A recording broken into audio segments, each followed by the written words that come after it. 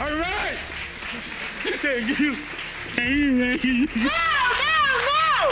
Hell no, we cannot go through 17 more years of this, with this woman. You better stand up and make sure people know how to respect your son and respect his space and treat him with honor and dignity. Miss Marsack, so through the pregnancy, what's happening? Who's with you? Who's participating? Is someone going to doctor's appointments with you? What's going on? All right, folks, let's dive right in. Today we have Mr. Adel accusing Ms. Jones of committing paternity fraud. He claims that she tricked him into signing their daughter's birth certificate, only to find out later that she cheated on him before getting pregnant. Woo, talk about a messy situation. Mr. Adel, you are here today to prove Ms. Jones committed paternity fraud. You claim Ms. Jones duped you into signing her daughter's birth certificate only to find out after her child was born that she cheated prior to getting pregnant. You say she broke the terms of your relationship. Is that correct? Yes, ma'am. So here's the deal Mr. Adel and Ms. Jones were in a swinging relationship. Yep, you heard that right, folks. They were swingers. Now, for those of you who don't know what swinging is, it's when couples agree to have sexual relations with other people outside of their relationship. But there's a catch they have to do it together, like a tag team. It's a wild world out there. You admit to cheating, but say you are 100% positive Mr. Adel is the biological father of your two month old daughter, Jessela. Yes, Your Honor. So, Mr. Adel, what do you mean she broke the terms of the relationship? Your Honor, we have we have certain rules. We're swingers, you know, and uh, Okay. and she went outside of the relationship. She cheated on me. Apparently, Mr. Adel and Ms. Jones had some rules in place for their swinging adventures. No going outside the relationship unless the other person is present, and always, always use protection. Seems like a fair deal, right? Well, buckle up because things are about to get way more complicated. Cheated too, though. I did out of spite. You did it out of spite. You Yeah. feel like he cheated. Your Honor, she she swears to God I cheated, and I I, I don't I don't cheat. Oh, there was a picture in my bed with someone else. A picture of Mr. Adel in the bed with somebody else, your bed? Yes, Your Honor. And that's why you cheated, because you saw that picture, so then you went out and did it. Absolutely. So, our swinging couple decided to spice things up by inviting another man into their bedroom. They put an ad online looking for a third wheel to join them. Now, here's where it gets interesting. Ms. Jones wasn't too thrilled about the idea of another woman joining the party, so they settled for a man. But guess what? She wasn't really into it. Poor Mr. Adel. He thought he was doing something nice for his lady, only to realize that she wasn't feeling the vibe. I, Well- I really don't, but I, I don't know if I want to know. Who finds the people? How, how does that start? Um, well, the way we did it was uh, we put an ad out online. An ad online? Yes, we. we What put would an ad like this say? It uh, couples, uh, Go ahead, you know what it says. You know you wrote it. Fast forward a bit, and Mr. Adel finds out that Ms. Jones cheated on him with one of his friends. That's gotta hurt. But get this, she only confessed to it a month ago. Can you imagine carrying that secret for so long? The tension in that relationship must have been off the charts. compromise, you know, and it, it's not a big deal to me. It's all it's all the same. Sex is sex, and it's all exciting, you know. So I mean, it, it was. I'm not quite there yet on that testimony, but I'm gonna keep listing. So, Ms. Jones, you agreed to have another man come into your bedroom. Honestly, I was hoping that he would stop it before it got that far. That he wouldn't really want another man to have intercourse with me. So, now we have a baby in the mix. Ms. Jones claims that Mr. Adel is the biological father of their two month old daughter, Jasala. But Mr. Adel has his doubts. He's convinced that the baby might not be his because of Ms. Jones's infidelity. Talk about a paternity bombshell. night that that happened, you know, we uh, we invited the gentleman over. Um, we had some drinks to loosen up, you know, uh, more more for her case because she's she had had no. So, how does this work? They just ring the doorbell and they're like, Hi, I'm the swinger. No, we, we, we, we had some drinks. She had told me that she was comfortable. All right, folks, it's time to get down to the nitty gritty. Mr. Adel wants answers, and he's come to paternity court to get them. Will he find out if he's the father, or will this case take an unexpected turn? Let's find out. Mr. Adel, you are the father. I told you. Makes you emotional. Yes, it does. Very emotional. And why is that? Because I, I, I built a relationship with a child and I'd, I'd like to continue. So, today we're diving into the case of Brooks versus Gooley. Mr. Brooks is here to prove that he is the father of Miss Gooley's 18 year old son, Mr. McDonald. But Miss Gooley, well, she's got a bombshell of her own. She admits to cheating on Mr. Brooks and believes that he may not be the biological father. Hold on to your seats, folks, because this one's about to get wild. Mr. Brooks, you've summoned your ex girlfriend, Miss Gooley, to paternity court to prove that you are the father of her 18 year old son, Mr. McDonald. Yes, Your Honor. Ms. Gooley, you admit you cheated on Mr. Brooks all those years ago and are here today to prove to Mr. Brooks that he is not the father of your son. Yes, Your Honor. Now let's get into the nitty gritty of this relationship. Mr. Brooks and Miss Gooley were together for a whopping 10 years. But hold up, folks, it wasn't exactly a committed relationship. Nope, it was more like a we're together, but we're not faithful kind of deal. This is starting to sound like a recipe for disaster. Both of you are desperate for these answers because you've recently been reunited with Mr. McDonald, whom you lost custody of at the tender age of one. Mr. Brooks, why do you believe Mr. McDonald is your son? The day he was born, I took her to the hospital. I drove her to the hospital. I was there. I watched him cut her open. I watched him pull my baby out. Miss Gooley? Oh, Miss Gooley. Did you ever tell Mr. Brooks during the pregnancy that he might not be the father? Nopa, she kept him in the dark, folks. She let him believe that he was the biological father the entire time. Now, that's a secret that's about to blow up in her face. The entire pregnancy. Yes, Your Honor, I did. I um Why is that? because he wants to be there for for my child, but he he knew that there was another man that was No, at I my didn't. house all the time. That's a lie. And he used to take the take Fred to work. and How come you gonna take to me the where I had house. my own damn car? Uh, Mr. Brooks, Excuse I me, I'm need you to watch your language. I'm sorry. So wait a minute. There was another man that was always at your house. And here's where things get even juicier, folks. Miss Gooley had another man in her life while she was with Mr. Brooks. Mr. Brooks believes that this other man could potentially be Mr. McDonald's biological father. Can you imagine the tension between these two men? Been having these pictures with me from for 17 years. She don't have none. Matter of fact, I don't have. I got about 60 pictures, and she's not in none of them. These are pictures you've carried for 17 years, Yes. believing that you are Mr. McDonald's biological father. Yes, Your Honor. Miss Gooley claims that this other man was just a friend, but come on now, we all know what that means. Mr. Brooks ain't buying it, and he's convinced that this other man is the real deal. Oh, the suspense is killing me. Who will be revealed as the true father? Will it be Mr. Brooks or this mysterious other man? I can't wait to find out. So let me be clear. You submitted to the court. At this time, you were both battling and having significant challenges with drugs. Not No. her. No. Tell me what you do. It don't But- matter. I don't do it now. Yeah. Ultimately, Yes. from your home. No. The reason why the my Well, Mr. Brooks, the day they something came- had to be going on because if, in fact, Miss Gooley was struggling at that time with drugs and the children could not be with her, Fast forward to the day that Mr. McDonald was taken away from Mr. Brooks. Oh, the heartbreak. Mr. Brooks vividly remembers that day, folks. The police showed up, DFCS was involved, and chaos ensued. Miss Gooley claims that Mr. Brooks called DFCS on her, but he denies it. This case is getting messier by the minute. out you you looked at him and said, "Is he yours?" Yes, I did. She You said that Judge. because what? You wanted him to look at the baby and see if he thought it looked like him. Yes, Your Honor. This ain't the 1st I- I'm a time good he's man. went through some. Yes, you are. Yes, you are. I give I you take- that. I take care give of all you that. You an excellent man. But he he he claims my daughter. That's not his child. He claims someone else's daughter. That's not his child. Miss Gooley let Mr. Brooks believe that he was the father for all those years. Apparently, she wanted him to be there for her child, but she also knew there was another man in the picture. Talk about playing with fire. This is one tangled web we're dealing with here. and on Facebook saying that he was my biological father. And I, did- I text back and said, um, okay, I really don't know what to say or what to do because there's another man in my life that thinks he's my father. Mr. Brooks, bless his heart, had been carrying around pictures of Mr. McDonald for a whopping 17 years. He believed with all his heart that he was the father. But wait, folks, there's a twist. Miss Gooley is nowhere to be found in any of those pictures. Not a single one. I didn't want to hear it. I don't see no other man being his father but me. That's it. That's all I got to say about it. That's mine.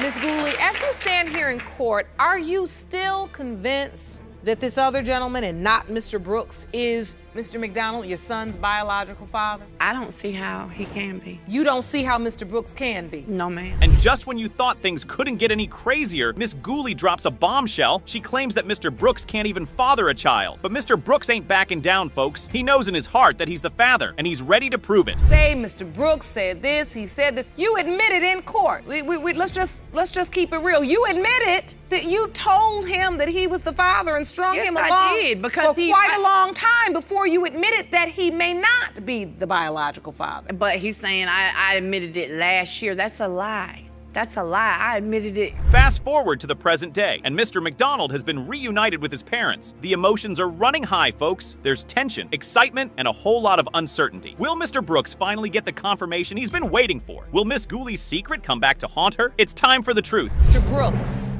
you are his father. All right. How's it feel? Great. Look at my boy. This is my boy. Feels good, sir? Yes, ma'am. Yes, ma'am. You feel real good.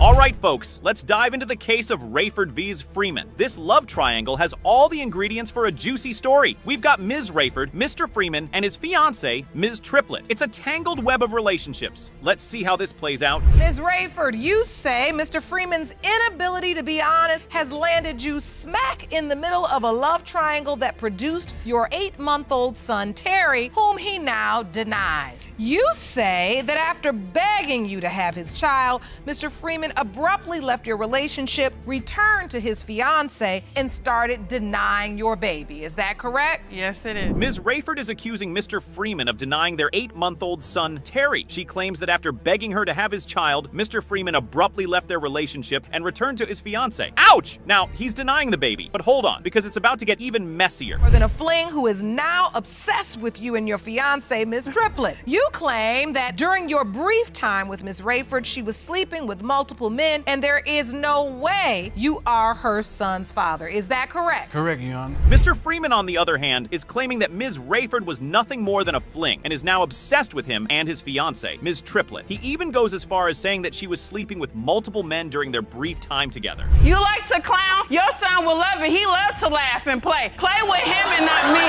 He knows he's a father. It's not an issue of paternity. It's an He issue of him being responsible. Miss Triplett, give me a minute. Miss Miss Rayford, just look at me. offense. Listen, listen. I know why you're upset. Lord have mercy. And I'm letting you kind of scream it out because I can see how frustrated you are. I am. I really am. All right, let's hear from Ms. Rayford. She's had enough of Mr. Freeman's denial and is ready to set the record straight. She's confident that Terry is Mr. Freeman's son and wants him to step up and be a responsible father. Gary, and you told him you don't need his stuff. Are you referring to when you brought that dresser thing? Nah, he referring to the stuff that he bought with Pampers, clothes, and stuff like that. Girl, stop uh, playing. So you know every Nah, move that I man see make, stuff. huh? Nope, I thought on. he made a I wrong so. move when he went over there Hold on. Oh, you jealous. You wish that was your Jealous? son, huh? How can I be jealous? you wish that was your son, huh? You Miss remember them tears you Rayford, cried? Miss with you. Rayford. And how can I be jealous? Miss Rayford, focus on me. But wait, here comes Ms. Triplett, Mr. Freeman's fiance, with some choice words for Ms. Rayford. Things are heating up real quick. Ladies, ladies, let's bring it down a notch. We're here to find the truth, not to start a fight. Mr. Freeman, why are you here? I'm here today to prove that I'm not Trina's baby daddy. Me and Trina was together. It was only just a fling. Trina was still having sex with multiple guys. Uh, she's obsessed with me. He believes you are you were still having sex with other people. Is that true? No, it's not true. We met in December.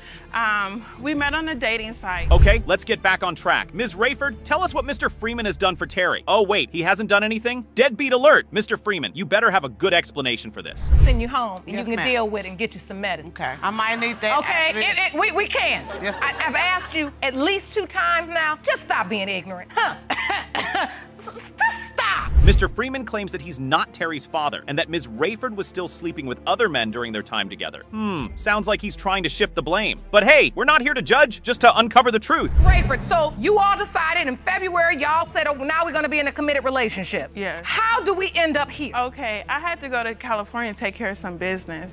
And so we were living together at the time. So he didn't have money for a plane ticket and because we were expecting a child, it was it was not responsible to buy him a plane ticket where he didn't need to go, where he had a job. All right, let's hear Ms. Rayford's side of the story. She met Mr. Freeman on a dating site in December, and they hit it off, but things got complicated when she met another guy around the same time. Oh, the classic love triangle. So now, Ms. Rayford, when you went to California, you were already I pregnant. never, I never saw proof that she was pregnant. She never told you she was pregnant. Never told me. Now, Miss Triplett, do you remember hearing anything about Miss Rayford being pregnant at the end of February? I had heard of it, but he never pertained to me that he, that she showed any proof. How him. did you hear it? From Terry and her telling Terry. Ms. Rayford moved in with Mr. Freeman in February, and they were planning a future together. But then she had to go to California for some business, leaving Mr. Freeman behind, and that's when things started to go downhill. Distance really did make the heart grow fonder of someone else. So now we see what's going on. So that's what you Mr. saying your Freeman, man is a liar? hold on. No. Mr. Freeman, you were going back and forth between these two women all this time. No wonder you so quiet. Hmm.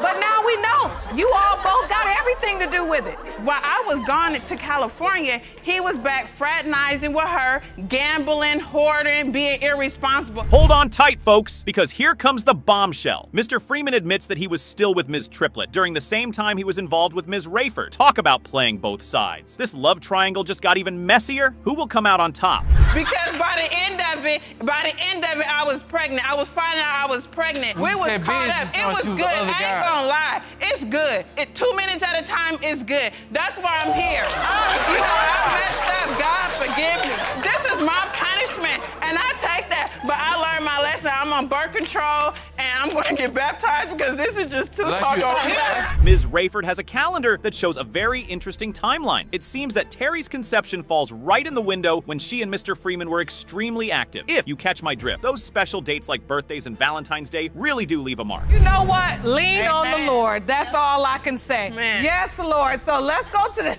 next page. Let's go to the next page of your calendar. Okay, so the conception window. Okay, the baby was born November 7th, and I have some more proof of the conception window. Mr. Freeman, however, is still denying everything. He claims that he always used protection, but come on, who are you trying to fool? The evidence is stacking up against you, my friend. It's time to face the music. Sexually active because it was your birthday, his birthday, and Valentine's Day fell all in the same. Yeah, that's why I say it's not an issue of paternity because he may lie, she or he lied, she lied, but And that you ain't lying, lying. too. That ain't lying. The, DNA, ain't the DNA test ain't lying. Everything matches up to what I'm saying. I don't have no reason to lie on this man. Listen, listen. All right, it's time for the moment of truth. Judge Lake has the DNA results in hand, and everyone is on the edge of their seats. Will Mr. Freeman be proven wrong, or will Ms. Rayford finally get the validation she's been seeking? Let's find out. Mr. Freeman, Yes. you Are not. Keep hope alive, but you're wrong today. You are the father. That's no, why you had problems for me because something wrong with her, and It's I'm not now. subjecting my child to that. Listen, you're his father, just like Miss Rayford said you were. and you just lie. You you come, you do this to me. Meet Miss Collins, who met Mr. Stone on a dating site and thought he was kind of handsome. They met up and hit it off soon afterwards, but things took a turn for the worse when she revealed she was pregnant. Collins, you have dragged the defendant to court to prove he is the biological father of your four year old daughter, Samara. You say one day of bliss became a lifetime of hell when Mr. Stone up and disappeared when you revealed to him you were pregnant. Is this correct? Yes, Your Honor. And here's Mr. Stone, who claims that Miss Collins never explicitly told him he could be the father. So the details are Miss Collins and Mr. Stone had a few rendezvous, and one thing led to another. They had unprotected sex, and bam, baby Samara was on her way. Mr. Stone, you claim the plaintiff waited two and a half years to tell you that you are Samara's dad, and you are just one of many men who could be the father. Is that correct? Yes, Your Honor. Miss Collins tells the court that she did inform Mr. Stone about the pregnancy and the possibility that he could be the father. But Mr. Stone seems to have a different recollection of events. With the with the flow. Mr. Stone, is this true? Yes, Your Honor. All right. That's how we make babies. so, when you met Miss Collins, mm-hmm. did you feel like this was going to turn into a relationship? She wasn't the only person I was with. I wasn't the only person she was with. You know, just Was this the only night you all were intimate? There were other I think there was nights. another night. There was another night. Mr. Stone claims that Miss Collins never explicitly told him he could be the father. He thought it was just a casual fling, and he was not the only one she was seeing. These two are weaving one hell of a tangled web. I pick up the phone. It's her. You know, we're talking. She's like, yeah. So I, you know, I just want to let you know, you know, I am pregnant. I said, okay. You know, and and she said, well, I'll just, I'll just let you know, you know, I'm pregnant. You know, I, I kind of asked her to come hang out. I kind of hinted I wanted her to, you know, come hang out, but she said she was pregnant, and basically she couldn't hang out. So she never said, oh, this is your child. She never said that. The plot thickens, my friends. Miss Collins goes on to reveal that there were two other men who could potentially be Samara's father. According to her, she had just broken up with her ex when she found out she was pregnant. She informed both men about the pregnancy, and that's where things got a little complicated. I said, hey, I'm pregnant. He said, well, is it mine? And I said, there's a possibility that it might be yours. He didn't deny it. He didn't say, no, that ain't my baby. He didn't do none of that. So after that, he just said, well, you know what, just keep in touch. And I said, okay, and you keep in touch as well. Make a long story short, uh, he moves to Arizona. And I said, okay, well, keep in touch with me. Now, fast forward two and a half years, and Mr. Stone resurfaces. Miss Collins is convinced he is the father, but Mr. Stone isn't so sure. Mr. Stone presents some evidence to the court, claiming that Miss Collins has been avoiding paternity tests and making excuses. Is he onto something, or is he just trying to avoid responsibility? He would have said to me, and you're the father. Yeah, Yeah, I mean that's. At what point then does it become clear that to you that you're a possibility? It was like two and a half years later. She hasn't been crazy, like throw a brick through my window crazy, but it's like, you know, you can't call me and be like, hey, baby dad. Uh, What? You know, what? You know, that's the first thing you say is, hey, baby dad. Like, that's kind of like, it's kind of awkward. You know what I mean? The tension is palpable in the courtroom as Miss Collins passionately defends herself, insisting that Mr. Stone is indeed the father. But will the paternity test bring us the truth we've been waiting for? She looked like my ex. They favored. They really did. So after so long, speculations came up. We got a test done. Come to find out she wasn't his. I said, yeah, I think I probably um, made a misjudged character on, on the situation. Uh, 2015, I found out that he was back living in the state. And now, folks, it's time for the moment of truth. The paternity test results are in, and we're about to find out if Mr. Stone is the father of little Samara. Judge Lake, the floor is yours. Mr. Stone, you are the father. You are her father. How you feel now? Yeah, it kind of threw me for a loop. I didn't expect that one. You truly believed you were not her biological father. Yes, Your Honor. I truly believe that. But on the bright side, I'm not upset. I'm a little surprised. Meet our plaintiff, Ms. Marsack, who admits to sleeping with not one, but two men around the time she conceived her 11 month old son, Caden. We've got a love triangle. Ms. Marsack is here today because she desperately needs to identify Caden's biological father. She's looking for some clarity in this messy situation. One, Ms. Marsack, you admit to sleeping with two men at the time you conceived your 11 month old son, Caden. Yes, Your Honor. Now, you state you're here today for the sake of your baby's future and desperately need to identify his biological father. Yes, Your Honor. Mr. O'Malley claims Ms. Marsack was unfaithful during their relationship, giving him every reason to doubt his paternity. And last but not least, we have Mr. Mestapy, who had a one night stand with Ms. Marsack and believes that he could be Caden's father. Your time together, so you have every reason to doubt paternity. Yes, Your Honor. Mr. Mestape, you were a one night stand, admittedly, but claim you have created a loving bond with Caden, and you would be devastated if he's not yours. Yes, Your Honor. So, Ms. Marsack, please tell us, how did you get yourself in this situation? Well, Your Honor, um, at the time of conception, Ms. Marsack spills the beans on her complicated relationships with both Mr. O'Malley and Mr. Mestapy. Apparently, she met Mr. O'Malley while working together, and sparks flew. But wait, there's more! She was married at the time, and Mr. O'Malley became the reason for her divorce. he is actually the reason me and my ex-husband are divorced. So, at some point, you were sleeping with Mr. Mestape as well. Right after me and Mr. O'Malley were together, um, I had uh, met Mr. Mestape at a party, and we were drinking, and one thing led to another, and we were in, ended up intimate. And Mr. O'Malley confirms their affair and admits to reconnecting with Ms. Marsack on Facebook years later. Things got so intense that she even moved in with him. But guess what? It didn't work out, and she went back to Illinois. Can't say we didn't see that coming. I had sent her back to uh, where she's from. Three weeks later, she co- she Facebooks me telling me that she's pregnant. So I asked for proof because she had lied to me numerous times before, and her word isn't really trustworthy, at least for me. So about a week later, she sends me a letter. It looked homemade, Your Honor. I really wish I still had the picture of it. So I presumed it wasn't true. Now it's Mr. Mestapy's turn to share his side of the story. He claims that Ms. Marsack reached out to him on Facebook, dropping the bombshell that she might be pregnant with his child. Do you remember if you used protection? No, I did not use protection. Okay, so it is a real possibility that you could be this child's father. Yes. I was uh, constantly thinking it could be someone else's, but I wasn't too too for sure because I didn't know her that well. It was just a one night stand. It only takes one time, but That's right. That's right. All right, folks, this is where things get really interesting. Ms. Marsack decides to move in with Mr. O'Malley, hoping to find some stability for her and baby Caden. But guess what? It only lasts for two months. it wasn't uh, that I could possibly be the father. It was that I could be the father. I get that. And because there was a possibility that you could, you did what you should do. Yes, Your Honor. And you were there. Ms. Marsack reveals that she left Mr. O'Malley's home and moved back to Illinois to be with her other children. But here's the kicker. She still believes that Mr. O'Malley is Caden's father. The drama just keeps on coming. Ms. Marsack,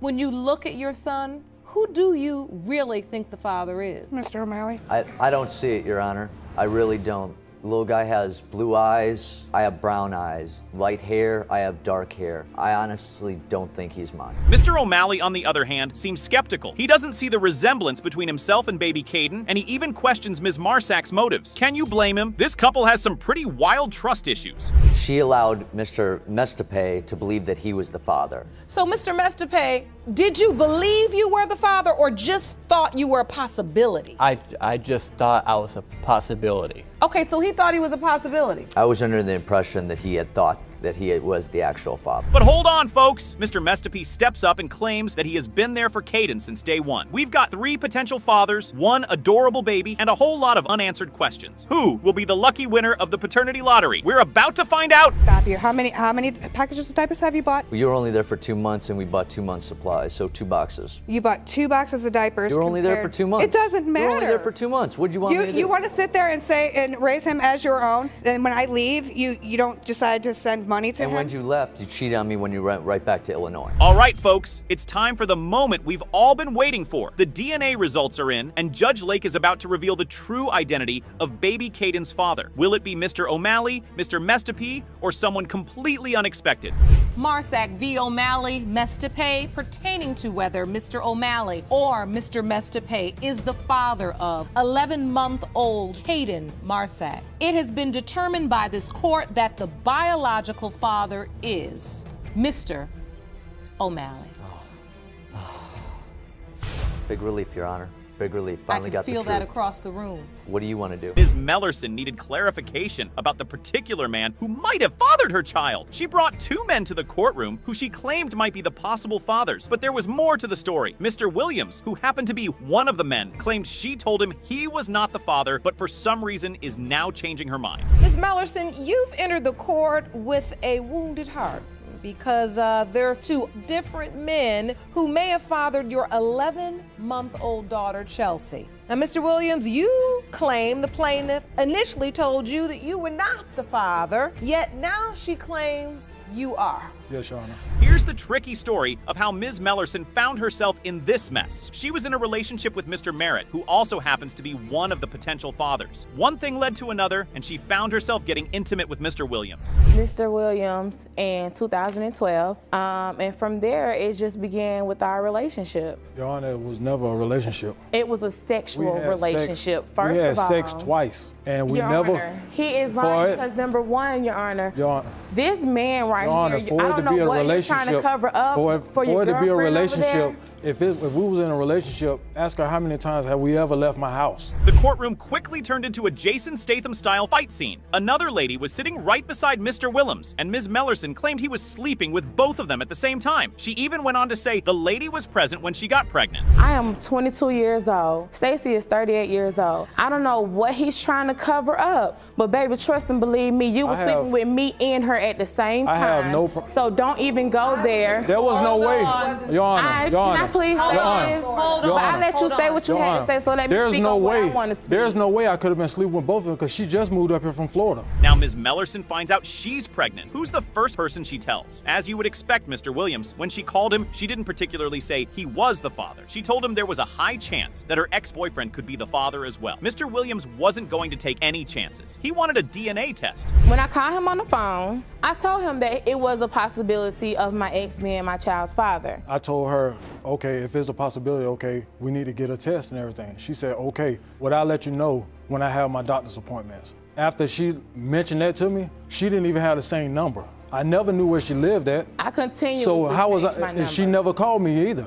When the call session didn't go as planned, Ms. Mellerson decided to go to his house and tell him to his face that she was pregnant. When she got there, she gave Mr. Williams a bunch of papers, letting him know she was pregnant. But after giving her a long stare, he started to doubt that she was actually pregnant. When I went to his house, he had this stupid look on his face like, wait a minute, is she really Your Honor. pregnant? Even then, you know, I'm like, you know, if you slept with me, just take it as there is a possibility Your Honor, of you being my even child's after- father. even- Williams, what do you have to add? Even after she contacted me to let me know that she was pregnant, and I told you that she told me that when she go to the doctor, she'll let me know. And if I want to come to the doctor's appointment, that's fine. Now, the supposed boyfriend with whom Ms. Mellerson was sleeping had been quiet for a while. Judge Lauren finally turned to him and asked if he had been told about the pregnancy. Guess what? Ms. Mellerson told him six months into the pregnancy that she was going to have a baby. To make things worse, she didn't even tell him he was the father. And said, oh, uh, I'm pregnant, so you might be the father. you So know. five or six months pregnant, she showed up at the door? Yeah, man. She hadn't called you to tell you she was pregnant all that time? No, man. She said she. But he- she not said she erased why. my number and or whatever. So Here we go with this know. phone again. No, I did not have his number at the time. Judge Lauren was about to lose her temper. Ms. Mellerson was trying to play the victim in the courtroom, and trust me, Judge Lauren was not going to have that in her courtroom. She didn't spare her one bit while giving her what I would like to call a scolding session. I'm sitting here is to help you resolve that mystery. So while I'm trying to figure out why is this man in doubt and you chirping off on the side so I can't hear him, if this turns out to be your daughter's father, I at least want to understand where is he coming from? So that in the end I can help figure out how to encourage. You could see it all over his face. Trust me, Mr. Merritt really wanted the child to be his. He claimed while he was growing up, he didn't always have his dad around and he wanted a different case for the child, even though he might not be the father. I really didn't have my father in my life like I wanted him to, like he was supposed to be. Mm-hmm. So I felt like, you know, the child, every child deserved to have a father and a mother in his life. I just want to, you know, be there for her regardless, even if she's mine or not. And you feel like when you look at her ba- this baby, this beautiful baby, that she looks like baby pictures of you. Well, we are finally at the last junction with these guys, and it's time to determine which of these two men will go home as the father. Would it be Mr. Williams or Mr. Merritt? Let's find out. If Mr. Williams, you are not the father. Mr. Merritt, you are not the father. Well, I know who it is.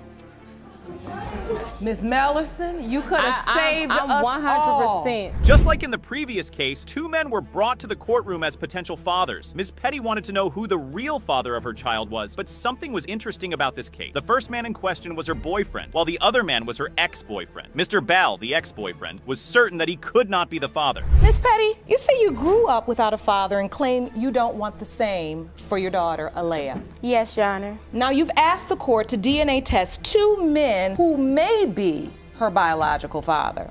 And Mr. Ball, you're one of the two men we've tested and state you do not believe you fathered the child. Now, Mr. Ballet had quite a lot of doubt about being the father of her child, and trust me, he had a valid reason. He claimed he could not be the father because while they were both intimate, she was also sleeping with her boyfriend. The only reason I started messing around with her was to get my son. You have an older child together, so you were messing around with her to get him. The way you gotta get it, I mean, the way you could get your kid is if you, uh, all she want is the D, so you gotta sleep with her. You know, all you gotta do is First sleep of all, with her. And first you'll be able to of get your all- kid. Okay. So, First of all, so, I would like to say Mr. Bal was saying some mind blowing things in the court that shocked the judge. He said anytime he wanted to stop sleeping with Ms. Petty, she would threaten him and say if he stopped, she wouldn't allow him to see his son anymore. Yeah, I tried to stop messing with her, but every time I stopped messing with her, she would go ahead and bring up like, well, you can't see your son and all this. You ain't gonna be able to. He, I don't want him to come And over when you refer to unsafe. Peter, that's Mr. Daniel. Yes, Mr. Daniel, my bad. Your contention is that he never really got over you and still kept coming Yes, around. that's- that- But you have to tell this court. You do admit that you also were having sex with Mr. Yes, I was. Daniel. Yes, she was. Another piece of evidence Mr. Ballet dropped into the courtroom to back up his doubt was the fact that his name was not signed as the father on the birth certificate. It was her boyfriend's name that was there, so he wondered why not put my name if I'm the real father. If you ask me, it makes a lot of sense. I see here on the birth certificate you did in fact Gave give her- Alea Mr. Daniel's last name. Yes. Did you think Mr. Daniel would just be a better father, or you just felt like he was your only option? he he asked me to give my daughter his last name because he knew No. all the lies Stefan was telling No, me. because they was- they everybody was know together for two everything he years. was They was staying telling together me for two years about how he didn't want to take care And they of were her. sleeping he with don't each other wanna be- unprotected. It was about time Judge Lauren hit the nail on the head and asked Ms. Petty why she had another man's name signed on the birth certificate. With tears in her eyes, she told the judge that Mr. Bal was not a father figure. She even said he never gave her daughter a chance to get to know him. Why is it that you give her another man's name? Exactly. You didn't want her to Why you didn't give her your last name? If let her was the case? speak. And I'm asking sorry. the questions. Sorry. Miss Petty, I ain't give Tell me what life. you're feeling. I'm feeling like, regardless of the result, he don't care no way. He don't want to be around for her. He didn't even give her the chance, like, to get to know him. Well, Judge Lauren had listened to their rants for far too long. This time, the only person she wanted to listen to was Mr. Daniel, who happened to be the boyfriend in this situation. And guess what? Mr. Daniels also had doubts about being the father of the baby. We were at the hospital and there was a situation where I looked at her and figured out that she has a little possibility to look like AJ, which is her son. And I basically was like, okay, well, it's that just, could just be because she's both of their mother. yes. Okay. That's why I say, okay, never mind. It So you erase that out of your Yes. mind. You're at the hospital and you're having this moment and the baby's here and everyone's happy. The beautiful thing about Mr. Daniels was that he was a sweet man. Even though he had serious doubts about being the father, he was present throughout the entire process of having the baby. He never missed a single appointment, but Ms. Petty just had to mess things up. She had been having a sexual relationship with Mr. Ball as well? She told me before because of the situation be, when we got together. Okay. So she told me that there was one time But where through the entire pregnancy, you were there. Every you time. were there at the birth. Yes. You cut the umbilical cord? Yes. I stayed up all night holding her. When she went, I gave her rest, so I end up holding her. Judge Lauren could not stop herself from becoming enraged at Ms. Petty's action. There was no sparing her this time because somehow she found herself mixed up between two men and she was lying about it. So you, and I'm gonna tell you like it is, you use that as an excuse to continue to sleep with the man you really wanna be with. Now tell me I'm wrong. You're not wrong. So when's the last time you and Mr. Ball had a sexual relationship? Last week. It was not last week. It was not last week. The truth was coming out, and Mr. Daniels was telling it all. He didn't just catch them while they were texting each other and saying the nastiest things, he even caught them in the act while they were kicking it in bed. What a way to break his heart. So have you ever I- caught them together in person, or Yes. is this, this is a sexting, texting thing? Matter of fact- oh yes, you said. Did you find evidence that they were together? I came home and I see his car outside. So I walk around to the window. I look in there and all of a sudden I'm looking around to see what's going on. Well, the suspense is finally over, and the hassle of who the dad of their child is about to be revealed. It's been a bumpy and funny ride with Mr. Mr. Ballet and Ms. Petty. All eyes are on the judge as she unleashes the truth. Get ready, paternity folks. And whether Mr. Ball or Mr. Daniel is the biological father. Mr. Ball, you are her father.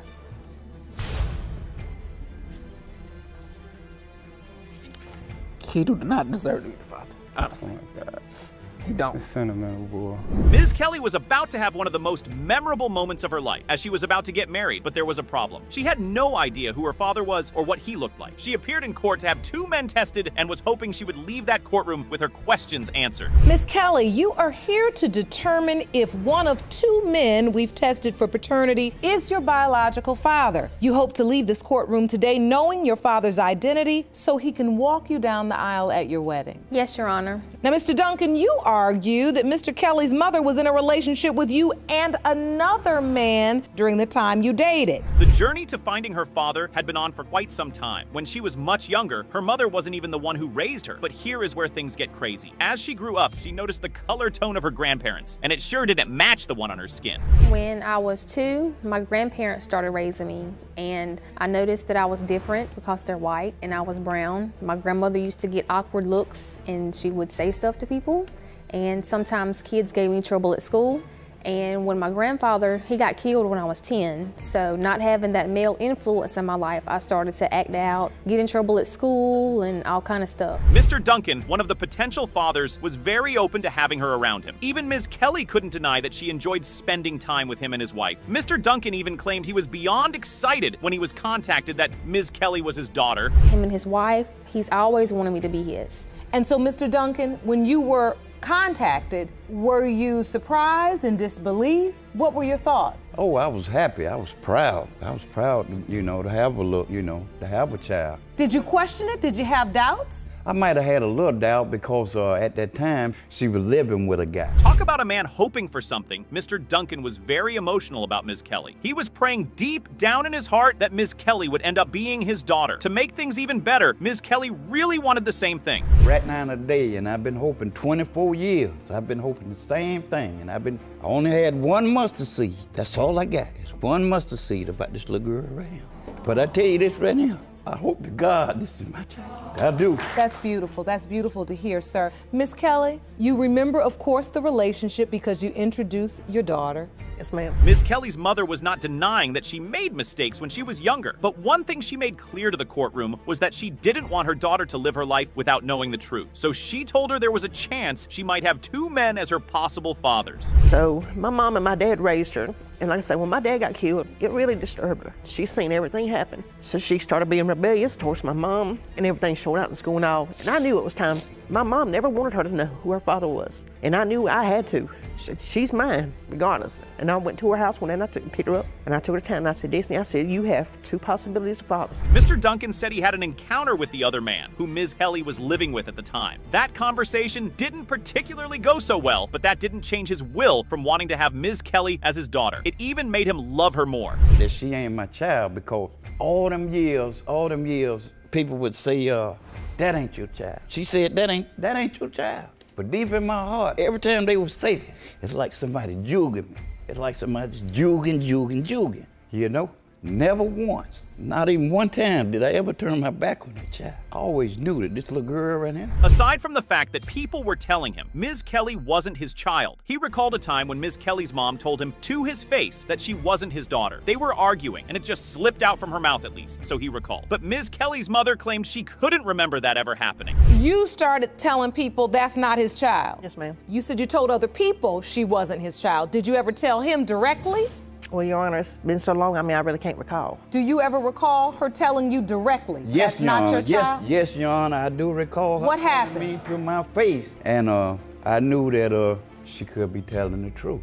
And so then people would come up to you on the street and say, she said that's not your child. The moment of truth was finally here, but the air is thick with uncertainty as to whether their relationship was going to be saved or shattered for good. It's time to see what the future holds for them. I hope you guys are ready. Mr. Duncan, you are not her father. I'm sorry to you both. I know how much you wanted it. Miss Kelly, how are you feeling? Confused still. That's understandable. All the cards were on the table for Mr. Hill. He was furious because he claimed he paid a lot of money in child support for a child he now believes to not be his. Ms. Harris, with a smirk on her face, was beyond certain that he was the father of her child, and the DNA results were going to prove just that. Mr. Hill, you have petitioned the courts for years to get a DNA test on Ms. Harris's 18 year old son, Taman, because you've paid more than $50,000 in child support, but you're not certain he's your child. Yes, Your Honor. Your previous petitions were denied, but there is now reasonable doubt and testing has been ordered. Judge Lauren was initially confused by his story. Mr. Hill claimed he was paying over $50,000 in child support for a child he believed was not his. When asked why he was then having doubts, he let the cat out of the box and said Ms. Harris cheated on him. Why don't you think he's yours? Basically, she had um, sexual intercourse with somebody else. Excuse me, All right. Your right. Honor. Excuse Okay, so hold on. What, Miss Harris? He's a liar, a total liar. I've never been with anyone in the three years that we were together. Why would he manufacture these doubts? Mr. Hill was talking like a loose cannon and he just wasn't ready to shut up. He had so much to reveal to the judge. Aside from the accusation about Ms. Harris cheating on him, he said she told him on several occasions that she actually slept with another man. She told me that she had slept with somebody else. So in she person told you? and on the phone So you're saying she told you she slept with somebody on somebody else? numerous different occasions. All right, but the point is, is when you were in your relationship that was supposed to be committed, Yes, Your Honor. she had sex with somebody else. Yes, Your Honor. She told me numerous times.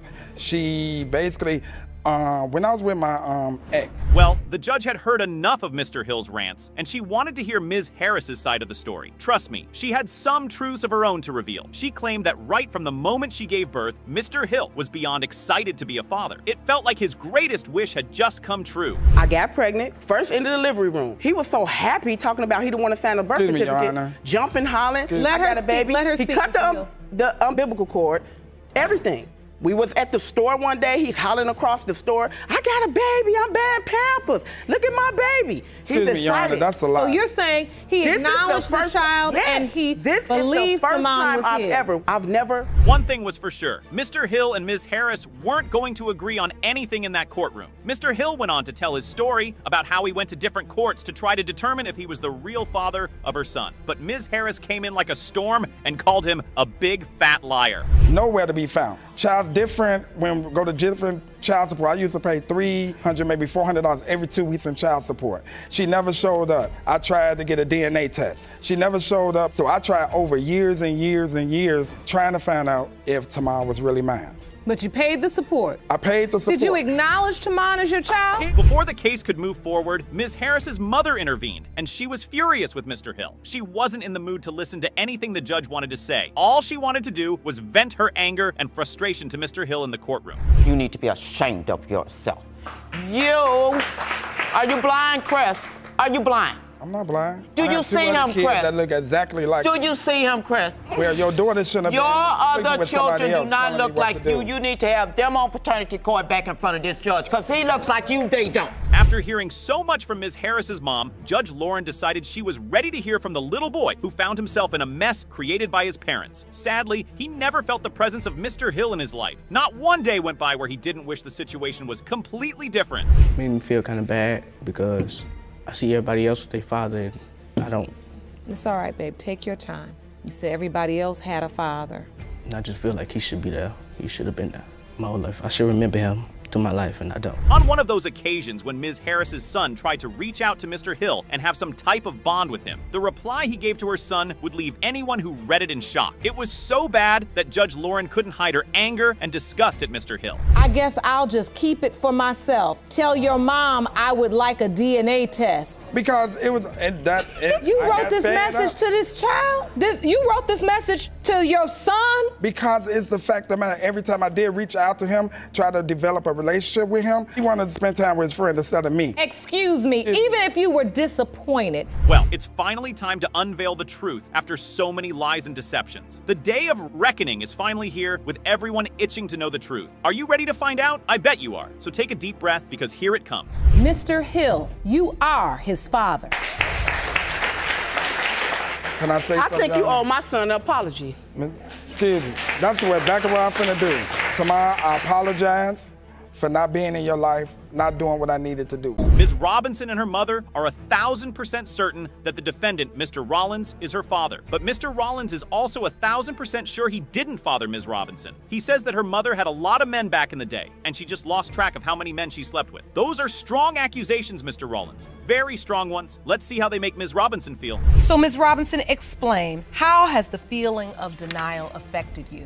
Your Honor, it affected me real bad. Like, I feel like that he wasn't responsible to even say I'm his daughter or not. And so, for 24 years, you've had to deal with this. Yes, Your Honor. Ms. Palmer, all her life you have been telling her that Mr. Rollins is her biological father. Yes, ma'am. Yes, You've that's never all. told her any other man was her biological father? No. This has been going on for 24 years. Well, the good thing is that for good or bad, we will be seeing the end of this saga today. And you've never gotten any level of recognition or acknowledgement from him? No, I haven't. So, Mr. Rollins, you do not believe you are Ms. Robinson's biological father. No, ma'am. You say you're 1000% sure. 1001. So, Ms. Robinson, as you grew up, were you told his name? As I knew him as Doobie. But you knew his name? Mm-hmm. Oh, well, it's done then. If Mr. Rollins here says he's a thousand and one percent sure, then he's a thousand and one percent sure. There's nothing to do about it. But that's not really how it works, is it? We've got to do the DNA test and we've got to actually get evidence.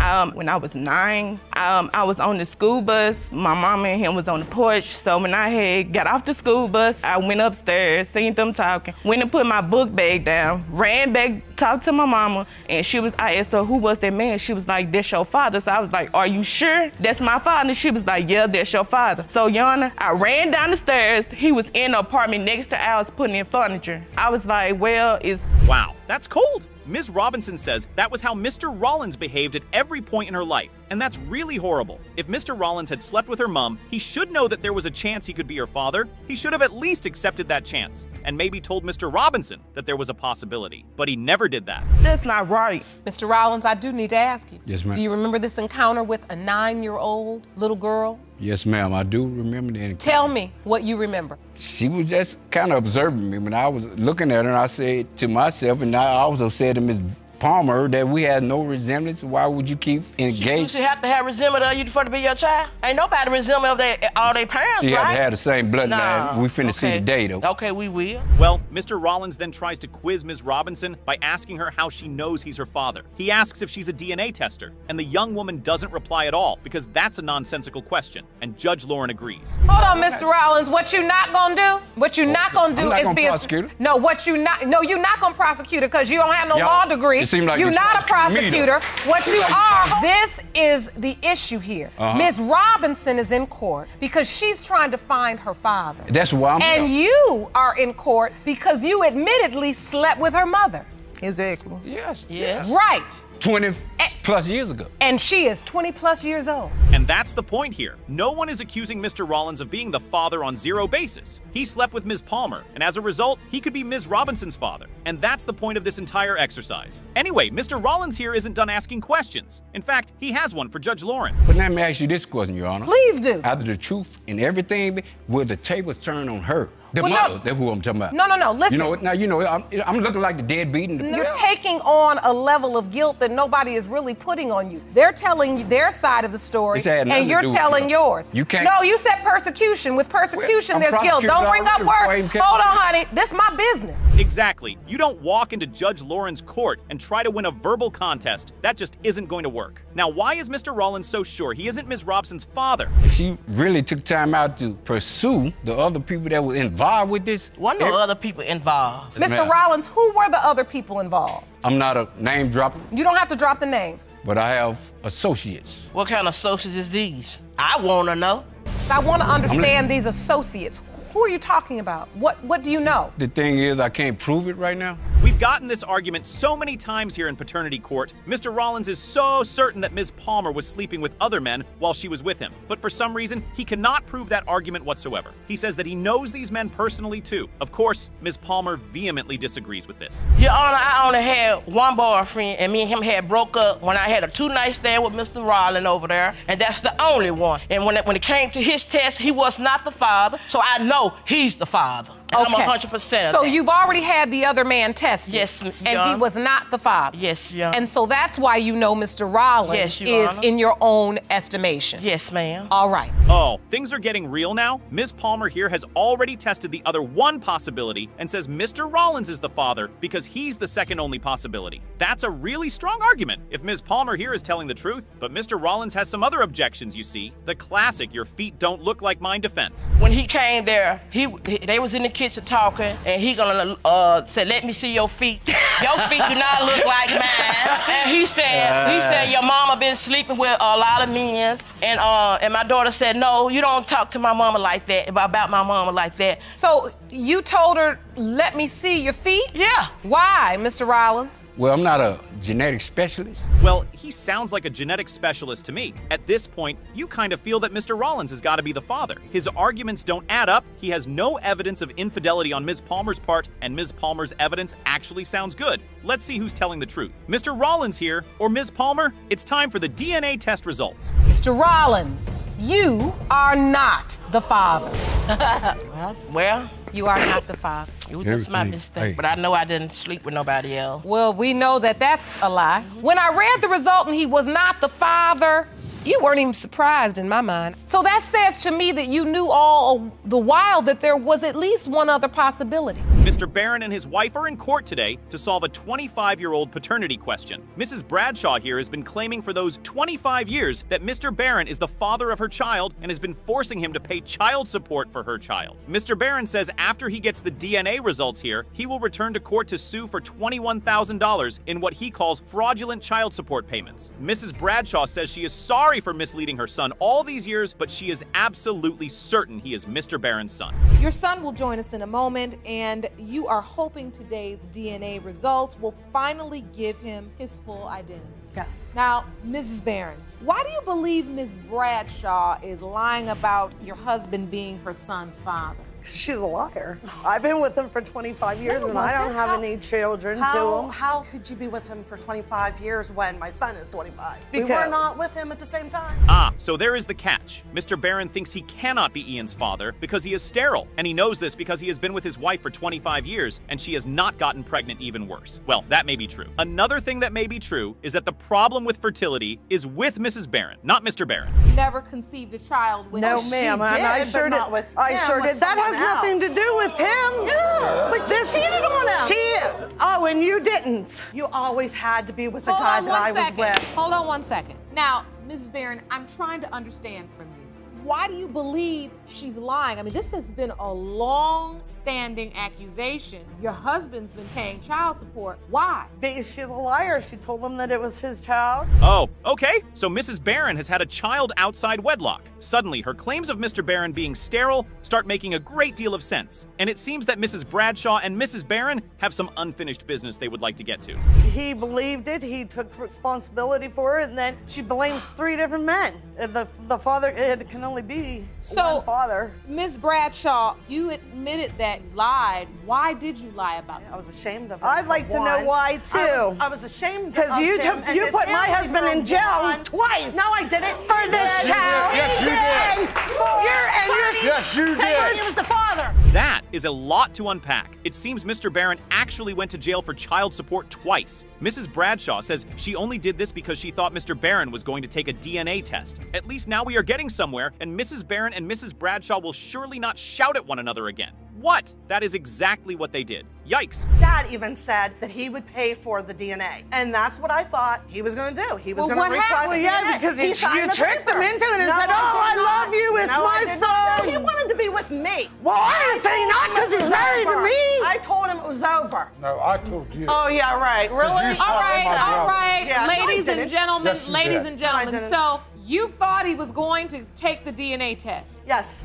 You see, Mr. Barron and Mrs. Bradshaw used to have what we call a swell relationship, but then Mrs. Bradshaw started cheating on him, and then he said it was over. And that, ladies and gents, is why Mr. Barron refused to do the DNA test. He refused to prove the child was not his because he believed it wasn't his. That is strange logic, and is exactly the sort of logic that lands you in paternity court. Found out she slept with my brother. No, he didn't. Yes. didn't. Yes, She's you dating did. his cousin She's dating my cousin. now. You're Keep it dating his the cousin yes, she's right with my now? cousin Yes. right now. But we'll just keep it in the family, but I'm the I bad girl because I pay help pay for his child support. Hopefully they took out it is my social sec- son. And she's saying it's a Southern man's kid. Why didn't he go for SSI? He was dead. She could have got SSI for 18 years, wouldn't have to worry about it. Wow, this is one tangled up family. Mr. Barron is saying that Mrs. Bradshaw cheated on him with his brother and is now dating his cousin. Is there something in the air Mrs. Bradshaw is breathing? Really? His cousin? You ever tell your son that anyone else could potentially be his father? I told him what Mike was. Yeah, he took her to a dead man's grave and said, This is your son. Miss Bradshaw, I need to understand this. You took your son to the grave. Yes, the deceased man that you told him Yes, I did. was his father. And I Wha- was wrong. I was totally wrong for doing it because I knew that it wasn't his. Well, here is the thing. We can understand that. Well, at least I can. But the issue is, why should we believe anything Mrs. Bradshaw says when she lies so blatantly about something so serious to her child? Remember that at this point, when she was doing her cemetery runs, Mr. Barron continued to send child support checks and she continued to cash them. But I didn't want to share my son. I did not want my son around them. That's I did. I seen him twice all his life. This is the lady Oh, I yeah, married, and Christmas this is Eve the lady I came want over to be my with. house in '96 and seen the son. Yeah, the only time that you we, Yeah. when we split up, Because- then you loved him again. up. All right, Mr. Barron. So even after all these years that you've paid child support, in your heart you have doubt. You don't believe you're his father. Yes, Your Honor. That is a lot to take in, but here is a simple judgment. If a man is paying child support regularly, then he needs to be able to see his child regularly. For some reason, Mrs. Bradshaw refused to do even that, and now we are here in paternity court to determine who the father of this child is. But first, we have got to hear from Ian himself. Specifically, taking you to a deceased man's grave and telling you that that was your father. Yes, ma'am. What do you feel? How are When you? I first found out that the guy that's dead wasn't my father, I was just devastated. I was very angry with her, and I just had so many emotions built up. And I kept after her about who my father was because Don was paying child support. I never got to see him. You can see how hurt Ian was to get the news that the man he thought was his father really was not, and was the other man paying child support. He says he even went to the dead man's parents' house, and they then told him that the man could not be his father because he had gotten close to Mrs. Bradshaw after Ian had been born. That is horrible, and the only way to solve this is to check out the test results. Mr. Barron, you are not the father. You okay, Mr. Scott? Just confused again. I don't know where to go from here. Your son says he doesn't know where to go from here, and you're the only person in this room. Mr. Clark wants to know whether his four year old daughter, Jelionia, really belongs to him. He says he is unsure because his partner, Ms. Probst, works as an exotic dancer. He says that he knows she has been cheating on him due to the nature of her job, and if Jelionia is proven to be his, he will be seeking sole custody. Ms. Probst, on the other hand, admits that she cheated on Mr. Clark around the time of conception and is unsure who Jelionia's father is. But she insists that that does not mean she is a bad mother. Complete lie. You're not living a lie. Yes, I am. I don't believe she even has a clue or idea who the father name is. So take me back a little bit. How did this relationship get to this point? You're together and you're happy. Well, this is how it happened. I was in Job Corps. Okay. I was working to get my uh, CNA nursing license. Okay. I met her at a party. She's a very fun, you know, loving girl at that particular time. Took it easy, fell back. I went to school. And how did she become a totally different person, you may ask? Well, she became a liar. Mr. Clark says she started cheating on him, but Ms. Probst says that does not really matter because she admitted to cheating. To cheating, Cheating which is means lying you and lying is asked cheating. and It's I the same admitted thing. it. That's not the being same a thing. liar. I don't even have to look at you to even say that.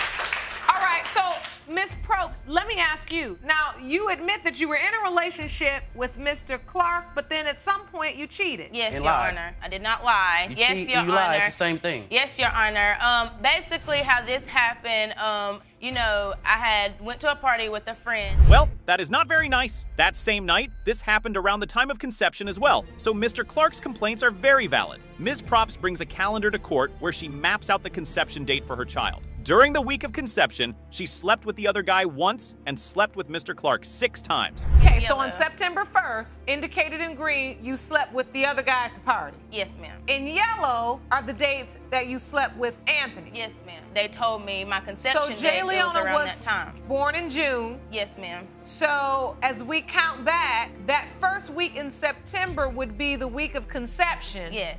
During which time you slept with both. Mr. Clark insists that that was not the only time that Ms. Probst cheated on him. He also claims that she was not always so forthcoming about her trysts with other men. In fact, he says sometimes he had to find out about them himself. If that is true, then Ms. Probst could definitely be hiding more. You know, we had intercourse one time. She took a shower. I went through, you know, her phone. I found texts to men. I found pictures of herself, texting photos, sending those to other men, and even That talking about. up. No, it wasn't made photos, Your up. Y'all, I Honor. even have proof right here, right now. photos, but like but I was I saying, like I was didn't. I saying, I, even know that she has texted men of sexual favors for money. Those are things that I know for a fact. That's not true.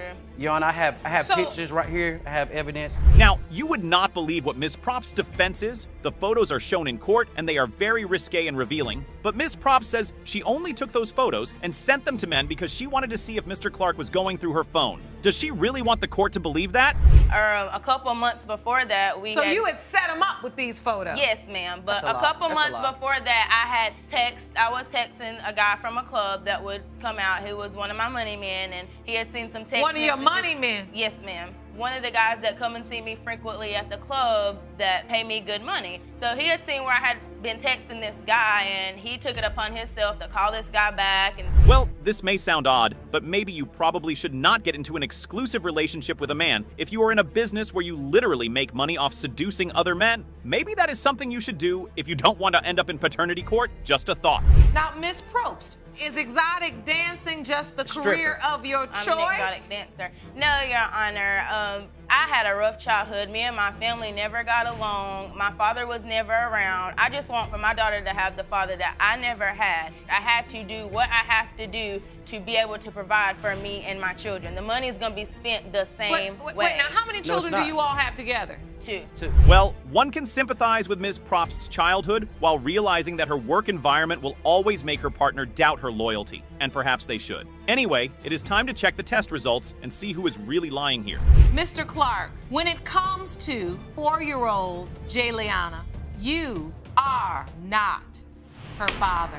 I'm sorry. Don't don't come over here. I- I'm sorry, but you already knew before we no, it doesn't. came It, does, it doesn't. It doesn't that matter. you might It not doesn't. be her It doesn't father, matter. though. I'm going to continue, you know, providing for my child. She doesn't have one. Without me, she doesn't have one. I would not allow, you know, allow, you know, some guy from the club or some guy from the street, you know, pick up where I left off because nobody can do that. Mrs. Mahan is in 10,000 worlds of hurt. She says her ex fiance, Mr. Shrum, cheated on her while she was pregnant, broke off her engagement, and now is denying paternity of her one and a half year old son, Blake. Mr. Shrum, on the other hand, does his best shaggy persona by saying it really wasn't him. He claims that Ms. Mahan cheated on him and slept with another man during the conception period of Blake. Therefore, he is fairly certain that he is not Blake's father. Now, Ms. Mahan, why are you convinced that the defendant is the father? Your Honor, I am extremely upset with this man. I have tried time and time and again to convince him that he is the only man I had unprotected sex with when my son was conceived, but he refuses to believe me. I've been trying for the past That's not year. true. I've been trying for the past No. year and a half to convince him that this is his son, but he denied. Wait a minute, Ms. Mahan. What do you mean by he is the only one you had unprotected intercourse with during that period? Does that mean you slept with other men, but it was protected so it does not matter? Is that what it means?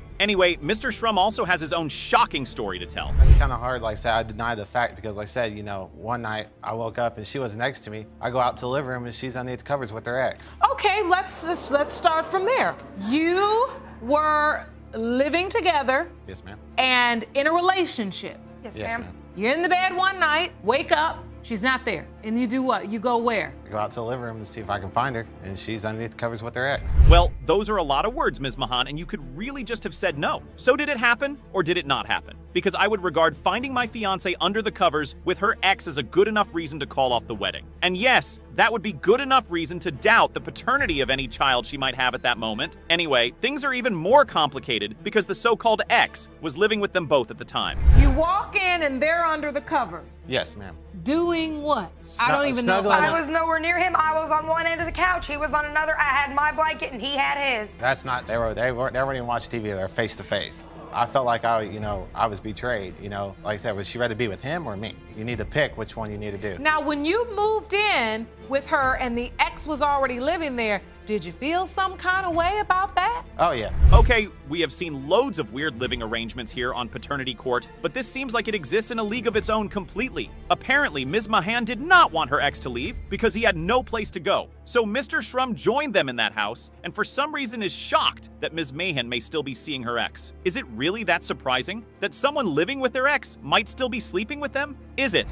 How quickly after you met and got together did you get pregnant? It was, it was about a month after me and him got together and he moved in with us. I never knew she was pregnant. That, oh. that is a lie. I called you and I told you that I was pregnant the day I found out I No, was you, pregnant. you told me that you were pregnant after we split up. After I called your mom's cell phone, you were at the hospital. So you were pregnant and you're saying that you told Mr. Shrum from the get-go, I'm pregnant. Mr. Shrum said this never happened at all. Ms. Mahan recounts this story very vividly, but Mr. Shrum just does not remember. Somebody here is lying, and the story gets even worse. We had gotten into a big altercation. Uh, my, it was hot one night. He was complaining because it was hot. I told him to quiet down. My mom had to get up the next morning to go to work at four o'clock. He started hollering and screaming at me. I slapped him on the arm and told him, "You need to quiet down. You're gonna wake up my mother." He turns around and bites me. I scream, and my mom comes Well, in the room and tells him he needs to get out, or she was gonna well, if call you the wouldn't cops. have, uh, you know, like I said, you know, Did you bite her? Yeah. Well, that is not a great enough reason to actually bite someone you are dating, is it? Mr. Shrum says he was just defending himself, and he was within his rights to do exactly that. Anyway, that day, Ms. Mahan's mom had Mr. Shrum removed from the house. The question here is, did Ms. Mahan cheat on Mr. Shrum? Well, we know that there was some cheating, but it may have not been on Ms. Mahan's side. We made a promise to each other to get married the day after my 18th birthday, and he does not give me any prior notice that he is leaving me for another woman. He had been sleeping with this woman for two weeks after we were still together. Is that true, Mr. Shrum? I I was with another woman. But like I said, we were broke up at the time. During this time, you're suggesting that she was sleeping with other people during the time of conception. Yes. Is this true, Looks Ms. like his Mann? Did you sleep with anybody? Ms. Meehan here is sticking with her story. However, she says she had slept with her ex before she and Mr. Shrum got together and did not sleep with him during the conception window. There is only one tested and trusted way to confirm that story, and it is by checking out the DNA test. It has been determined by this court that you are the father. Booyah! Tell me what you feel. It's okay. Can't believe I wasn't there for him. You have regret. That's honest. Do you hear him? Yes, I do. Because I know he wants to see you. What would you want to say? I love him. I'm sorry for denying him. Is it okay if Mr. Shrum meets his son for the very first time in my chambers? Yes, Your Honor. He may. Mrs. Watts is here on behalf of her deceased son, Alex. Alex passed away a few months back, and Ms. Watts is here because she doubts that he fathered the defendant's 20 month old child, Caden. Ms. Cheryl, on the other hand, is absolutely sure that Alex fathered her child. I was called, received a phone call to come to a shooting where they said that my son was involved. When I got there, I didn't know at the time that my other son was there as well. Um, my two sons went to visit a friend who had some type of altercation with some gentlemen prior to my sons coming to visit their home. And when my two sons got there, they were ambushed and murdered. That's so painful. It's the worst pain anyone can experience. Coupled with that, Mrs. Watts now has to live with the paternity doubt she has over Caden. Every time you've seen Alec, you've seen me, you've seen him. You like we were always together. We planned on having a family together, having that future together. But fortunately, it was cut short. How Here long have were you in the relationship? Three years on and off. Okay. And so Caden is 19 months old? Yes. And so he did get to know his father. Miss Cheryl says that Alex never doubted that her son Caden belonged to him. She says they had a father and son relationship, and they were like two peas in a pod. She even has a video that shows the nature of that relationship. Yeah, because like you don't hear what I'm saying?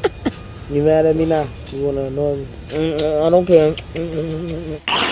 So in your mind, as you see that, it's your feeling that he accepted this child as his own. Yes, Your Honor. He did accept Caden as his own. Hold up, what does she mean by blood test or not? Does that mean that there could be some reasonable doubt? No, I'm saying that because, you know, everybody has said their words and everybody feels some type of way about when it comes to Caden being Alex's child. I say blood test or not because to Alex, he didn't care to get a blood test. He, to him, Caden was his child. Well, the issue was my son had went away for some time, and before he went away, he told me that Alexis was pregnant. And I guess this was during the time that they were on their breakup. Oh, and this isn't hearsay. Mrs. Watts has evidence of this text message and tenders it in court. This means that Ms. Cheryl just lied in court when she said that there's no possibility that Caden belongs to another man. That was my response because I told Alex I did have a one night stand with somebody and cheated on him. I told him in the beginning. Um, I want to say a week or two after I had the one night stand, I took an at home pregnancy test and I found out I was pregnant. I know it takes a little longer for the at home pregnancy test to detect the pregnancy, so I did say I didn't know because I know what I did and Alex knows what I did, but I also do believe he is because he, you know, I know what happened and I know at the time when it happened. Is it just me, or does Ms. Cheryl here look a little flustered? Anyway, the point is that regardless of the feelings Alex has for this child, there is a real reason to have doubt. Is he a secret? He not he did not want nobody to know about the pregnancy. Why is that? He Alex was a secretive person. He did not like people in his business. And at the same time, I didn't tell my family I was pregnant either. So we both decided to keep this a secret. He was a private person. And so you can see how your son may have said, let's keep this to ourselves. Mrs. Watts says that Alex came to her house with the baby a few times, but he never for once mentioned that the baby is his child. However, he cared for the baby like it was his. Mrs. Watts says that Alex had a daughter and told everyone that the daughter was his, but he didn't do the same for Caden. I didn't tell nobody when I was in labor with Caden, Your Honor. And so Alex wasn't there either. No. No, yeah, and Alex didn't see the baby for two months. So what's interesting is in the court papers, I see Caden's birth certificate. On the birth certificate, there is no father's name listed. Caden's last name is not your last name, and it's not Mr. Stewart's last name. Okay, but why didn't she give the child Alex's last name if she knew that he was Alex's child? Well, Ms. Cheryl says that she just wanted to be sure and get a blood test first before changing his name to Alex's last name. That's not a very good explanation. Anyway, let's hear from Mrs. Watts' husband, Mr. Watts. Yeah, we always always hung out and did stuff together, you know. And he never talked about no babies or nothing. It was always, it was like, it's, all this is new to me this year. Oh, wait, Excuse so me, you- I don't even, he's never even met me before. Like, we've I never know even you. met face to face for him to be able to say, have a say so on this. I'm talking about what Alex said. He never said nothing about no baby. If somebody got a child, they gonna say, well, this is my baby. Here, mama, look, look at my baby. Wow. So it seems Alex also had some paternity doubts. Despite this, Ms. Cheryl still claims that the child belongs to Alex. The only way to get to the bottom of this is to check out the DNA test and see what it has to say. The percentage of relatedness between Ms. Lita Watts and Caden is 0.006%. You are not related. Do you know where Caden's biological father is? No. Mr. Runnels always believed that he couldn't have children because of a lifelong medical condition. However, that opinion changed when his partner had Ireland, a baby he now claims is his miracle baby. There's only one problem with that claim. The partner in question, Ms. Taylor, claims that it breaks her heart, but she is certain that Mr. Runnels isn't the father of her baby. Not in my heart. Tell the court. Well, he has a, uh, like, I don't know what it's called. Called a hypospadias. Okay, can you describe that for the court? All it is is it's where the hole in the penis is in the wrong spot. It- Okay. Instead of being up top, it's more towards the bottom of the head. The, the, the actor just said that it's a big possibility that I may never be able to have kids. So Mr. Runnels may be able to have kids, but the chances, according to his doctor, are uncertain. Nobody really knows for sure. That's a tough spot to be if you want to have children. Interestingly, Ms. Taylor was aware of this and has dated Mr. Runnels for over four years. She says they tried for over two years and nothing happened. In fact, they'd planned to adopt a child if they couldn't have one. And then, suddenly, Ireland happened. family and you know get out in the world we had unprotected sex and we tried for so many times to have it nothing was working so then i decided to go and do something different and Wait, what did you do? You have to be specific I, in court. i had went and cheated on him with a guy i had actually known for a little while Oh, what did she tell you, Mr. Runleys? Let's see where this story is going. What Did she tell you, Mr. Ronald? Her her original story when I found out, because like I said, like this is a miracle baby to me. You know, this is um, bottom line is this don't work. If, if this is not my kid, I, I gotta go. There's there's not no more to it. When you found out you were pregnant, who did you tell? The other guy you were pregnant, or did you tell Mr. Ronald? I told them both, actually. I told the other guy on Facebook that I might be pregnant. It could be his baby. Just, and I told him too. But did you tell Mr. Runnels you cheated? No, ma'am. No, I did not. Mr. Runnels says that on her Facebook, he found a message from Ms. Taylor telling the other dude that the child might be his. And that hurt him so bad that he felt like he had a heart attack. He says even right now his knees shake when he thinks about it. Then you know I was there. And so at 22 weeks, you find this out, and yet you still stick by her, and you stick by the baby. Yes, Your Honor. And you are there. Yes, Your Honor. And are you there when baby Ireland is born? Yes, Your Honor. I was at the hospital. The other guy was not by our choice, but um, I requested to have and I requested to have a DNA test done at the hospital. Especially as he thought Ireland was his miracle child. Ms. Taylor says she didn't want the DNA test because she doesn't want Mr. Runnels to leave her. That's a weird thing to say when she cheated on her partner with another man and then told the other man that he could be the father of her child. Despite this, Mr. Runnels still loves Ireland and says he will keep on being her legal father. And you know, she legally, I'm still on the birth certificate, and I'm not going to be taken off of it unless she decides to take me off of it. So Even you though are I her- knew that you know there was a possibility still in my heart that I knew there was a possibility that she wasn't mine. Mr. Runnels obviously feels very deeply for this child and would want nothing more than to confirm that she is his. But that's not how it goes in paternity court. You could want a child to be yours with all your heart and then the child ends up not being yours. It is horrible. Of exactly what was going on. You know, in my heart, knowing for so long that I've never had a kid. I've been trying to have a kid since I've been 18 years old, and you know, it's just something I need to know. a lot is indeed on the line. Anyway, Ms. Taylor says she's convinced that Mr. Runnels isn't the father because she sees a lot of the features of the other man in her baby's face. I always And get just- worried that he's gonna leave me because you never know. You know, he's been there this whole time. But you now fear that Mr. Runnels will leave. Yeah, because when uh, Oh no, it's gonna happen. I mean, if, if she's not mine, I gotta go. You know, it's just bottom line. You positive. You you're you're done if this is not. Yes. You cannot stay in this relationship No. if Ireland is not your biological It, It just it'll cause too many problems. Wow, this is really a bind. The man who wants to have the child may not be the child's father, and the man who doesn't want the child could end up being her daddy. Aside from that, is Ms. Taylor really trying to tell us that she could see this man's features in the ultrasound pictures of a baby? Really? Is that even possible, let alone likely? well, we only known each other for like almost a year, And then he came over one night and went to hang out. We hung out and it led into more than that. A week later, I took a pregnancy test. They both came up positive. And I told him not to get his hopes up on the first one because I didn't want to have him go thinking, oh yeah, I'm having a baby, you know, and then I go to the hospital and I find out it's Before not we get into that, that's kind of funny how she, Miss Taylor says that he came over. It shouldn't come as a surprise, but Ms. Taylor here doesn't sound so trustworthy. If she can cheat on a man who loves her like Mr. Runnels does, what can she not do? I was told that it happened outside of my house, in a park, somewhere outside. That's I did. I told him that. You did. Yes, But did. in actuality, this man was in in, my your house, home. in Yes. my bed. Since we're telling the truth now, Right. the truth. Right. Was this really a one night stand, It or really was. did it happen more than once? It was honestly my right hand to God. It was only one time we ever, one time only, and that's the only time we ever had it. And then Here's the thing if you are coming to court, try to get your story straight. Even if you're lying, try to line your lies up. That way, you won't have to backtrack all over the place like Ms. Taylor is doing now. At this point, you might even hope the child isn't Mr. Runnels because he doesn't deserve to be with someone like her. But then again, Ireland is his miracle child, or so he says. match his. It's like, but uh, me and like I him said, had brown she looks eyes. just like me. Look at her. Butt She chin, had- my big old elephant ears. and this is kid. Ireland. You believe she looks like you. 100%. So, Miss Taylor, does she also look like the other guy to you? She, uh, yes, Your Honor, she does. We've heard a lot. It's time to get to the bottom of this matter and see who is Ireland's father. Is it Mr. Runnels or is it someone else? Mr. Runnels, you are her father.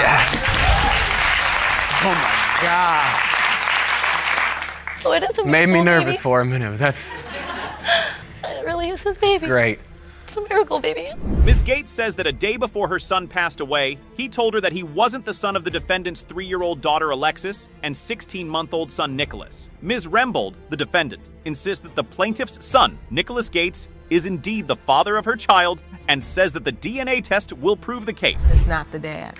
I am here to represent my son Nicholas as because he can't be here. I remember him telling me point blank the day before he passed away that he was not the father of Nicholas. But yet he told me differently right before he died. He had told me that he didn't care regardless, that he felt in his heart that no, he, he was the father of my child. Well, this seems pretty straightforward. Ms. Gates says her son told her one thing, and she's using this as a basis for the paternity doubt. Ms. Rembold, on the other hand, says she was told another thing, and Ms. Gates is absolutely sure her son believed that he wasn't Nicholas's father. Deep down. I could tell he was being very honest. I could see the sadness in his face when he told me that. Also, Mr. Gates and I were also fighting at the time we had a rough relationship. So Mr. Gates was going to say what he had to to his mom. What would he say to you? That he felt that this child was his, and even if the child was not his, Mr. Gates would still stepped up and he would have been a father. Of Mr. course he would was step a good up. father. Well, Ms. Rembold doesn't sound very convincing. Why would the departed Mr. Gates even have a paternity doubt in the first place? There must have been some reason for that, right? To you at all, or was there doubt? Yes, there was some doubt. Mr. Gates with Alexis, if we would argue, he would say, Go find your daughter's father. With Nicholas, I had found out I was pregnant, and he told me he would not be able to live with knowing I was pregnant with another man's baby. And then, right before Mr. Gates had passed away, Mr. Gates had told me that he felt in his heart that Nicholas was his child. It's not what he told me. That doesn't answer the question, though. Anyway, let's move on. What exactly did Mr. Gates tell his mother before passing on? He Said that baby is not mine, and that's all he said. And and he was just very distressed. And he meant Nicholas. Yes. What about Alexis?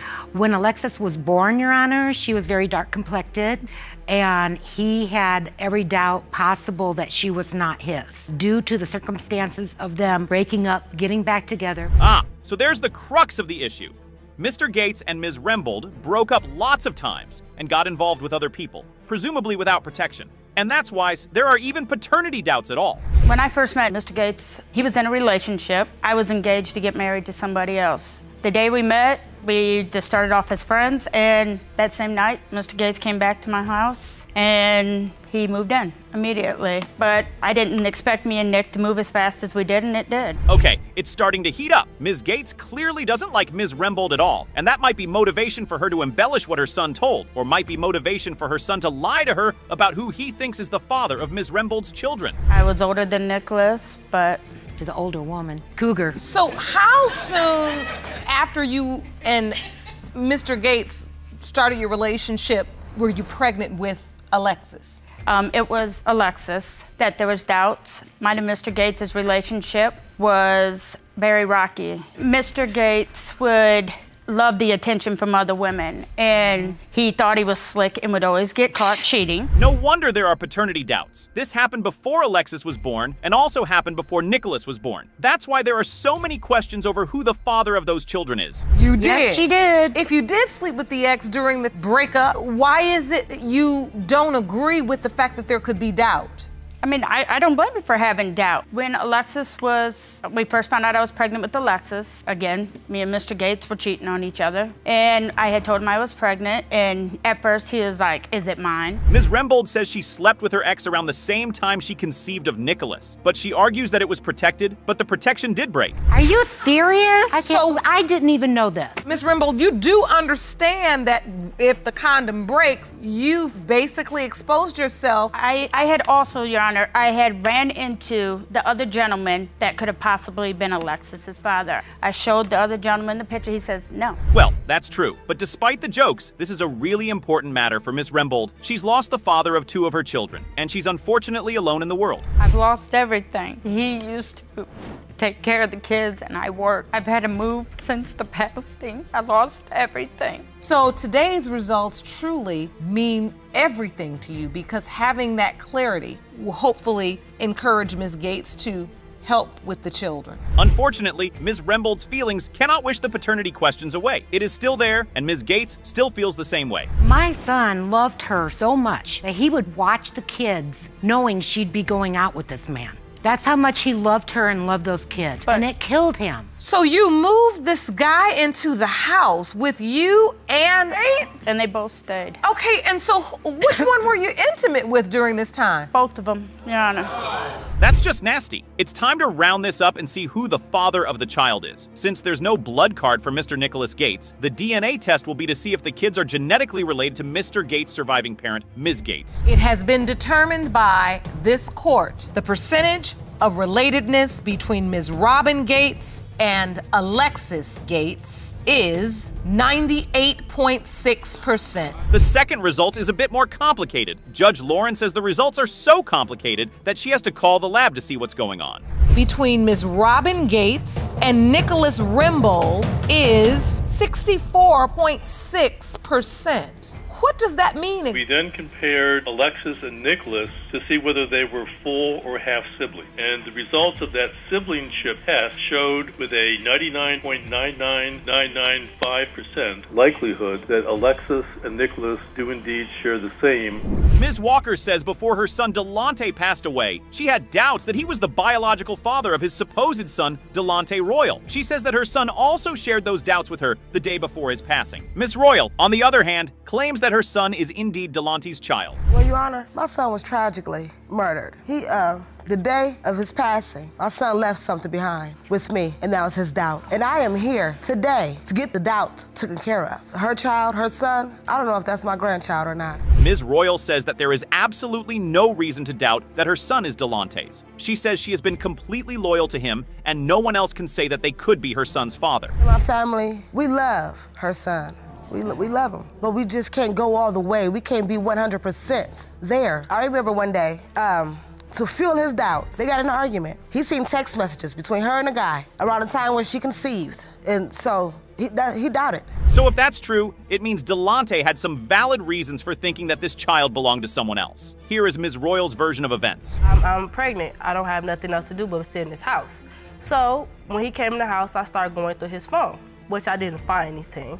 So after that, he caught me. Yes, he did. He said, if you think I'm cheating, you can get your stuff and leave. Um, well, I was trying to get my stuff and leave. I got my phone. He grabbed my phone to see who I was calling. It was an older dude. He, I called him my brother. He just a person I looked up to also. Ms. Walker says that's not how it was portrayed to her. She says she was told that Ms. Royal was intimate with this person, and it wasn't just a matter of calling her shorty. He embraced that child. He kissed the baby on the forehead and everything. She asked him, she said, um, Delonte, do you want to DNA test now? Right in the hospital? Uh, yes. He laid his head on my shoulder. He said, he said, Mom, I think I'm gonna throw up when he see the baby. And so when she asked him, did he want a DNA test, you know, he looked around, seen her family members, he told her, No. Oh, that's understandable. So, in front of everyone, he didn't want to embarrass her or seem disrespectful, but later he said that he needed a test. Ms. Royal says she knows nothing about this because she asked him twice, and she's sure he didn't want one. Mrs. Walker then asks why he didn't sign the birth certificate if he was so sure he was the father.